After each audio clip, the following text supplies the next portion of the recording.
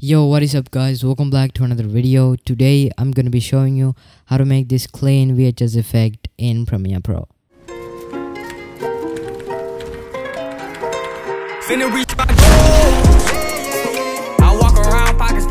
So as you guys just saw, I'm gonna be showing you how to make that effect and today's tutorial will be a step-by-step -step tutorial which I will be showing how to make this effect from the scratch.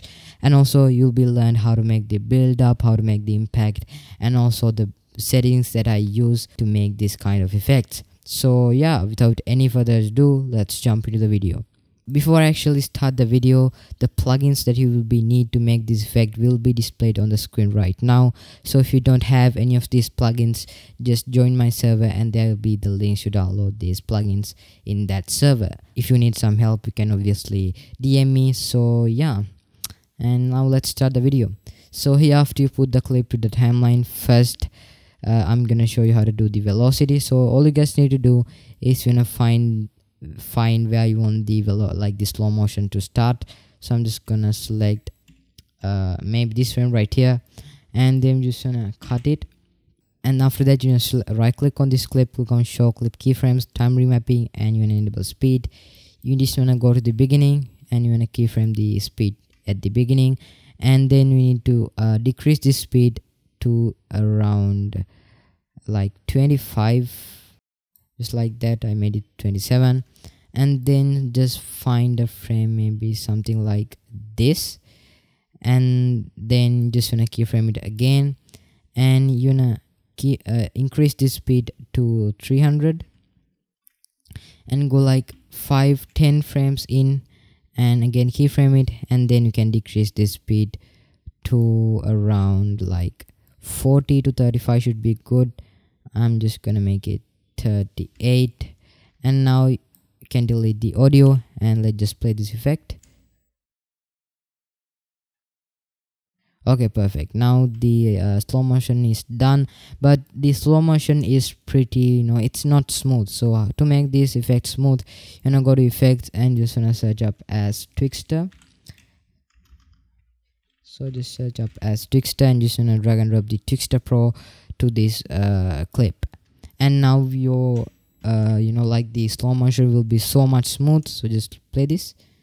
And as you guys can see this is so smooth. And yeah that's how you can do the slow motion. And now let's add the effect.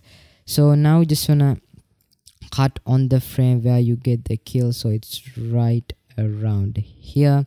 You wanna cut it right there. And just right click and you wanna nest this clip.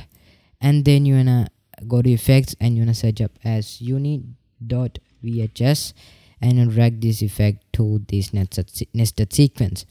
And you will see a effect just like this and then all you guys need to do is change the preset from standard to clean vhs or else you can obviously play with the other presets but for me i like to have the clean vhs and go ahead and change the frame style to original so it'll remove that little old square tv effect from this effect and you will get this full uh, uh, you know original size and still if you get these lines can may change this scale to 103 just like that.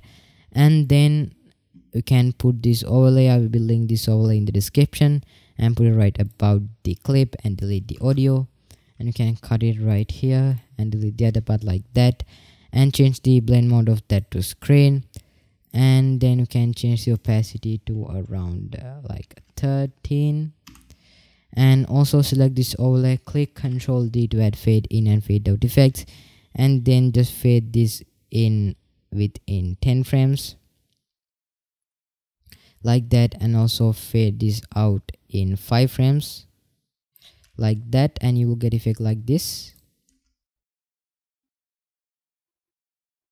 Okay perfect. It is pretty laggy but we can fix it after we render the clip but for now let's just keep it as it is and then you can select these two clips right click and nest the clip.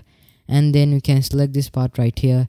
And I'm just gonna render this out. So click sequence click on render selection and I will be right back after this has been rendered out. So as you guys can see I rendered the clip and then the effect should look something like this okay perfect. And then i'm gonna show you how to do that uh you know like the little pinch punch effect. And also i'm gonna show you how to do that little uh, build up shake so to do that you wanna go to effects. First you wanna search up as bcc bulge. And just want to drag this to this nested, nested sequence. And you want to select the effect on the effects control. And you will see these little circles appear. And then just put it to the middle right here. There will be anchor point on the middle. And do like that then go ahead and copy down my settings go to effects control and then go ahead and change the radius to 1280 and then go ahead and change the taper to 30 and for now let's just uh, change the height to 0 and then all you guys need to do is go somewhere right around here keyframe the height and go maybe somewhere right here and change the height to negative 20, 28 select this can make it a continuous bezier and let's just play this.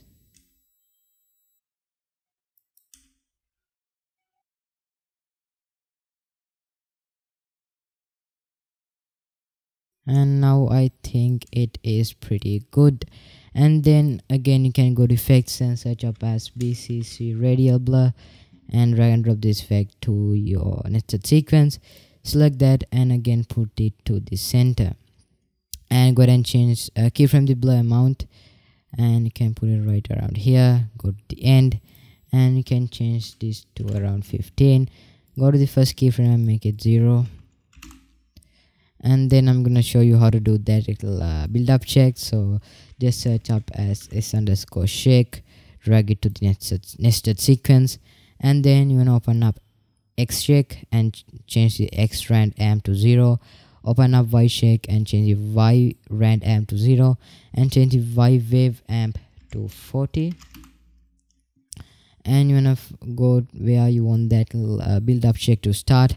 Keyframe the amplitude and frequency change to the amplitude and frequency to 0 and go maybe somewhere right here and change the amplitude to 0.8 change the frequency to around 8 and go to the end change the amplitude 0.1.2 and the frequency to I would say around 17 and select these keyframes right click and make them a continuous bezier. And let's play this.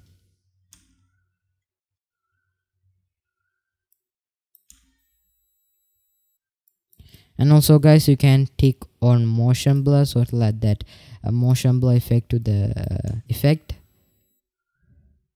so it is pretty laggy so i'm just gonna render this clip and i'll be right back. And now to render the clip you'll get effect something like this. So i think it is pretty good. And then let's add the impact. So you know next this clip. And again you wanna put the s shake right here. You know go to the beginning keyframe the amplitude and frequency. And open up x shake make it zero again. Open up y shake make this around 4 and change the wave uh, y, y wave amp to 50 and keyframe the amplitude to 2.2 change the frequency to 16 and go 5 10 15 frames and make this like don't keyframe the amplitude uh, frequency actually and make it 16 and do like that and select these two keyframes right click and make it a continuous bezier and just play this. Okay i think it looks pretty good. And also make on take motion blur and now i'm going to show you how to do that little subtle shake. So again put a shake. And then open up x shake make it 0 and open up tilt shake make this around 0 0.7 until change the tilt wave amp to 6 and keyframe the amplitude to 0 0.2 change the frequency to like 4 and you will get something like this. Actually change the amplitude to 0 0.2 keyframe the amplitude and go maybe forward in time and make it zero. And also you get that little subtle shake and do like that. And then go ahead and search up as s underscore glow and put it right here. And keyframe the brightness and go just forward in time and make it zero. Go to the beginning and you can change the color to a color you like. I'm just gonna use a little pinkish color. And also you can add a s underscore flicker. Just put it to the clip. And now go ahead and copy down my settings.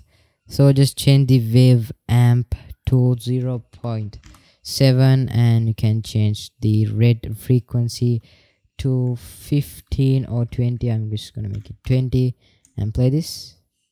And you can leave it as it is or you can change the wave frequency to 7 and you can leave that as it is. And also you can add a s underscore vignette and just drag it right here. And then you can keyframe the radius go like like forward in time and change this to 2 select this right click and make them a continuous make them a continuous bezier. Do like that. Play this. And i think it is pretty good. I'm just gonna make this 1.4 actually